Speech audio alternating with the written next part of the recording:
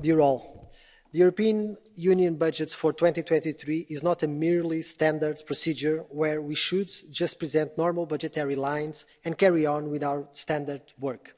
We live in times of urgency.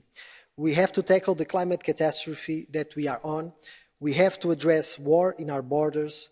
We have to prepare for possible humanitarian crisis and we need uh, to mitigate the huge impacts that energy prices and overall high inflation will have on our citizens' life. And the EU budget is the most powerful tool that we, as a union, have to try to influence also the rest of the world into doing what needs to be done.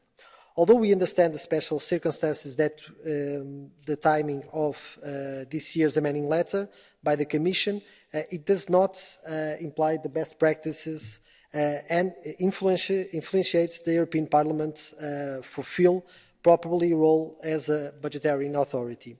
Uh, we would hope that this doesn't repeat it. Uh, let me address just three uh, main issues on this amending letter. First, uh, we will welcome the humanitarian aid increase, although it's still not sufficient as we think. with the escalation of Russian attacks on civil targets in Ukraine, we have to expect further increase on humanitarian needs next year. Unfortunately, this goes also for humanitarian needs regarding uh, climate change.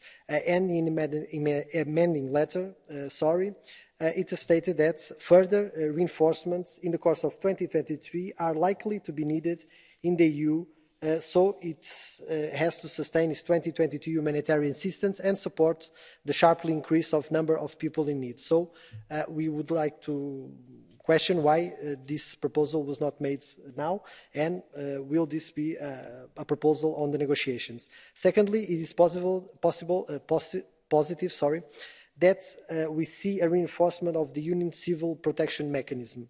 Uh, to be able to react to more severe impacts on climate change, although there should also be increases in the parts of the budgets that invest on fighting climate change and speed up our efforts on this regards. The EU budget is the best way to do that.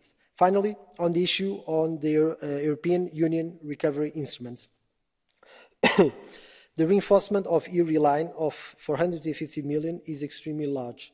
The European Parliament has warned repeatedly that having the EURI in heading 2B is unsustainable and that the next generation EU interest costs and repayments should be counted over and above MFF ceilings. Will the Commission ever make this proposal? How is it planning to deal with this situation? And also, uh, fi finalizing the position on the Council for us uh, is quite disappointing uh, in the context that we are living uh, in. Um, the Council calls for it, uh, its approach prudent, but for us it's quite uh, questionable and disappointing. We need more ambition for next year's budget, not blunt cuts. Uh, and overall, we believe that the European Parliament has presented a realistic and powerful proposal.